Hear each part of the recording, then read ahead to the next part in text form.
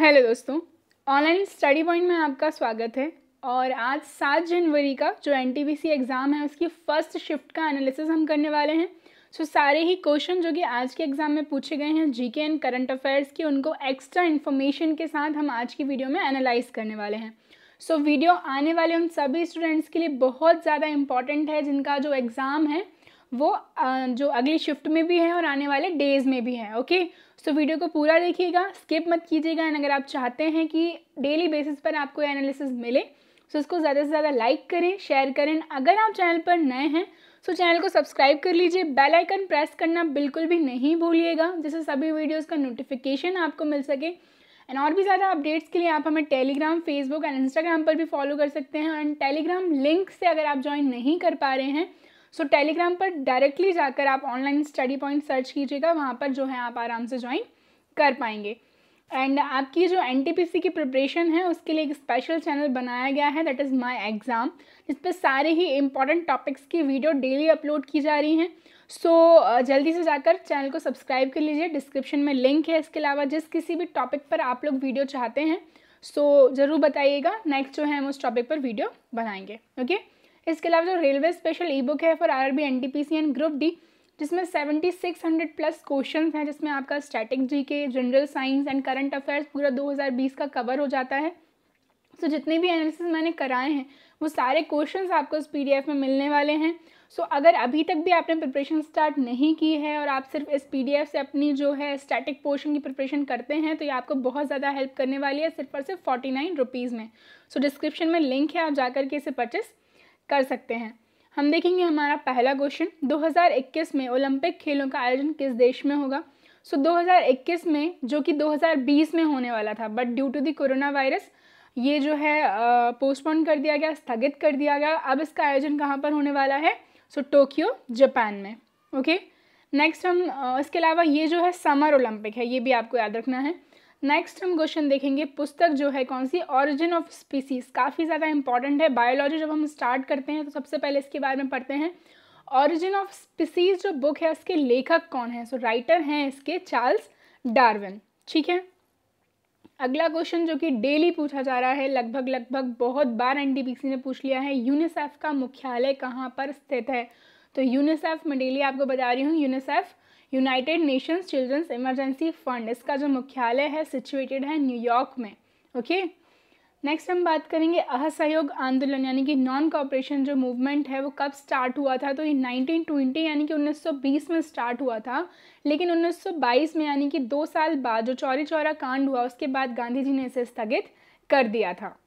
So next question हम देखेंगे, तानसेन का मकबरा कहाँ पर स्थित है? तानसेन, जो कि अकबर के नवरत्नों में से एक थे, ठीक है? इनका जो ओरिजिनल नाम था वो क्या था? रामतनु पांडे था और कंठा वरण विलास की उपाधि इन्हें अकबर के द्वारा दी गई थी, ठीक है? सो क्वेश्चन पूछा गया, इनका मकबरा कहाँ पर स्थित है? इनका मकबरा ग्वालियर, मध्य प्रदेश में सिचुएटेड है। नेक्स्ट मैं बात करूँगी, कल ही क्वेश्चन पूछा गया था, जो दूसरा परमाणु परीक्षण था, पोखरण का, जो कि 1998 में हुआ था, उसके बारे में, और आज जो है पहला पूछ लिया गया।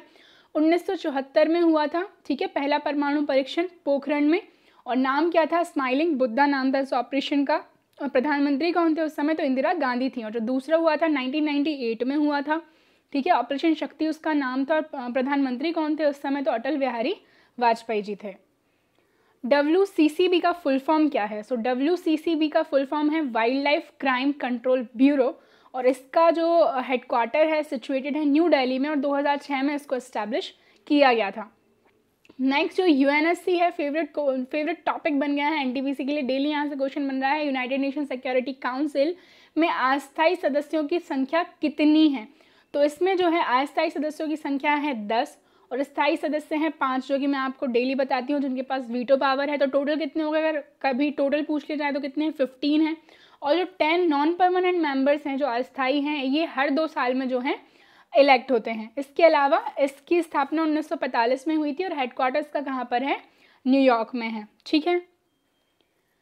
गांधी इरविन समझौता किस वर्ष हुआ था? तो कल भी हमने देखा था जो द्वितीय गोलमेज सम्मेलन है, ठीक है ना? गांधी इरविन समझौते के बाद ही गांधी जी ने द्वितीय गोलमेज सम्मेलन में भाग लिया था तो मार्च 1931 में महात्मा गांधी और लॉर्ड इरविन के बीच ये जो है पैक्ट साइन हुआ था। 2030 में एशियन फुटबॉल कप का आयोजन कहाँ पर होगा? तो 2023 में, यानी कि 2023 में जो एशियन फुटबॉल कप है, इसका आयोजन होगा चाइना में।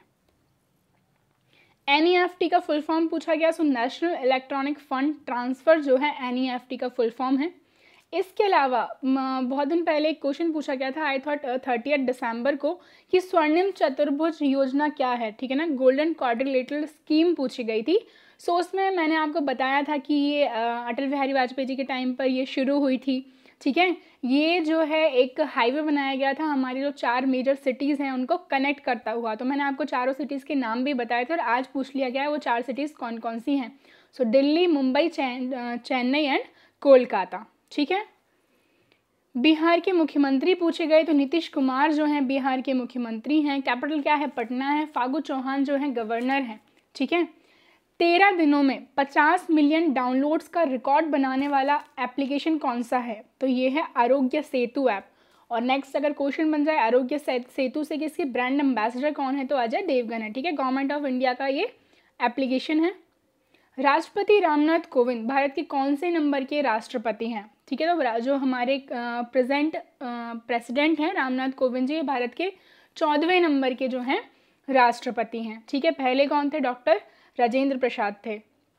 पूमा की ब्रांड एम्बेसडर कौन है? तो ये हैं करीना कपूर। सारे ही ब्रांड एम्बेसडर मैंने ऑलरेडी कवर करवाए हुए हैं। क्लोरीन की परमाणु संख्या पूछी गई है। एटॉमिक नंबर ऑफ़ क्लोरीन पूछा गया है तो आंसर है इसका सेवनटीन और अगर इसका पूछा, पूछ लिया जाए कि साइन क्या है, कैसे डिनोट करते हैं तो उसको सी एल से डिनोट करते हैं। भारतीय राष्ट्रीय कांग्रेस इंडियन नेशनल कांग्रेस से बिल्कुल बार बार क्वेश्चन पूछे जा रहे हैं। इसके पहले मुस्लिम अध्यक्ष कौन थे? तो आंसर है बदरुद्दीन तैयब जी, जो कि 1887 में बने थे। ठीक है? मैं बात करूँ इसकी स्थापना अठारह सौ पचासी एटीन में हुई थी। ए ओ ह्यूम के द्वारा की गई थी। पहला जो सेशन है, वो कहाँ हुआ था? मुंबई में हुआ था 1885 में ही हुआ था। उसके अध्यक्ष कौन थे? W C Banerjee Womesh Chandra Banerjee. वायु प्रदूषण मानव के किस तंत्र को प्रभावित करता है? तो जो एयर पॉल्यूशन है ये जो है हमारा रेस्पिरेटरी सिस्टम यानी कि श्वसन तंत्र को सबसे ज़्यादा प्रभावित करता है।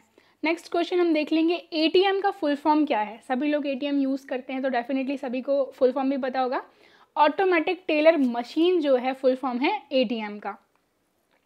अगला क्वेश्चन हम देख लेंगे, कुचिपुड़ी कहाँ का नृत्य है? तो ये क्वेश्चन भी आई थिंक दूसरी या तीसरी बार पूछा गया है तो कुचिपुड़ी जो है आंध्र प्रदेश का नृत्य है। और आंध्र प्रदेश से आपको याद क्या रखना है? वाई एस जगनमोहन रेड्डी तो यहाँ के क्या है? मुख्यमंत्री हैं। और इंडिया का पहला ऐसा स्टेट बन गया है जिसकी तीन कैपिटल हैं। कौन कौन सी? अमरावती, विशाखापट्टनम एंड कुरनूल। तो ये भी आपको याद रखना है। झारखंड की गवर्नर पूछी गई। सो देखिए, झारखंड की गवर्नर है द्रौपदी मुर्मू। कैपिटल है यहाँ की रांची और हेमंत सोरेन जो है यहाँ के सीएम हैं। विश्व पुस्तक दिवस कब मनाया जाता है? तो विश्व पुस्तक दिवस मनाया जाता है तेईस अप्रैल को। तो इंपॉर्टेंट डेज़ से भी क्वेश्चन आ रहे हैं। कल पूछा गया था इंटरनेशनल डांस डे ठीक है ना? सो so, वो कब मनाया जाता है? ट्वेंटी नाइन्थ अप्रैल को मनाया जाता है। Okay okay? सो so, सारे ही आप नेशनल एंड इंटरनेशनल डेज़ जो हैं उनको विद थीम जो है याद कर लीजिए। इसके अलावा रॉलेट एक्ट से भी काफ़ी बार बार क्वेश्चन आ रहा है। तो रॉलेट एक्ट हम देखेंगे उन्नीस सौ उन्नीस में आया था। ठीक है ना? इसी की वजह से जो है जलियावाला बाग हत्याकांड जो है हुआ था, ठीक है? अगला और लास्ट क्वेश्चन हम देखेंगे, खिलाफत आंदोलन का नेतृत्व किसने किया था? तो ये जो है क्वेश्चन ये भी रिपीट हुआ है खिलाफत आंदोलन का जो नेतृत्व है ये अली ब्रदर्स के द्वारा किया गया था, शौकत अली एंड मोहम्मद अली के द्वारा 1919 में और बाद में ही इस आंदोलन को मर्ज कर दिया गया था Hindi non cooperation movement so guys ये जो थी हमारी आज की वीडियो थी। सारे ही इंपॉर्टेंट क्वेश्चन हमने देख लिए। खिलाफत आंदोलन बार बार पूछा गया। रॉलेट एक्ट विश्व पुस्तक दिवस, तेईस अप्रैल। कुचिपुड़ी, सारे ही जितने भी इंपॉर्टेंट डांस फॉर्म्स हैं इंडिया के और उनके स्टेट्स के, वो ऑलरेडी मैंने कवर कराए हुए हैं। सो आप जा के वो वीडियो देख सकते हैं। सी एम एंड गवर्नर से भी बार बार क्वेश्चन बन रहा है। तो ये टॉपिक आपके लिए बहुत इंपॉर्टेंट हो जाता है। इसके अलावा मैं बात करूँ फुल फॉर्म्स की तो डेली कुछ ना कुछ ऑर्गेनाइजेशंस के या फिर कंप्यूटर रिलेटेड फुल फॉर्म्स भी आपके एग्ज़ाम में पूछे जा रहे हैं। साथ ही केमिस्ट्री में मैं बात करूँ तो जो फॉर्मूलाज हैं, वो काफ़ी पूछे जा रहे हैं और आज जो है एटॉमिक नंबर भी पूछा गया। इसके अलावा इंडियन नेशनल कांग्रेस से उसके जो सेशन है, उनसे काफ़ी क्वेश्चन बने हैं। स्थापना किसने की, कब हुई, पहले अध्यक्ष कौन थे ठीक है ना? पहले मुस्लिम अध्यक्ष में देख लिए, बदरुद्दीन तैयब जी हैं। पहली महिला अध्यक्ष कौन थी? तो एनी बेसेंट थी 1917 पहली भारतीय महिला अध्यक्ष कौन थी? तो सरोजनी नायडू 1925 में बनी थी। ठीक है ना? इस तरीके से आपको याद रखने हैं। और मैंने ना पाँच मिनट में कवर करवाए थे हमारे अभी तक के जो प्राइम मिनिस्टर हैं। यहाँ पर वैसे क्वेश्चन प्रेसिडेंट से बन गया तो जल्दी हम वो वीडियो भी देख लेंगे। इसके अलावा ब्रांड एम्बेसडर्स बहुत इंपॉर्टेंट हैं। लाली लाल ही कहा कि ब्रांड एम्बेसडर पूछे गए थे, जो कि रोहित शर्मा हैं। ठीक है ना? और आज जो पूछी गई हैं करीना कपूर जो कि पूमा की ब्रांड एम्बेसडर हैं। बिहार के मुख्यमंत्री नीतीश कुमार।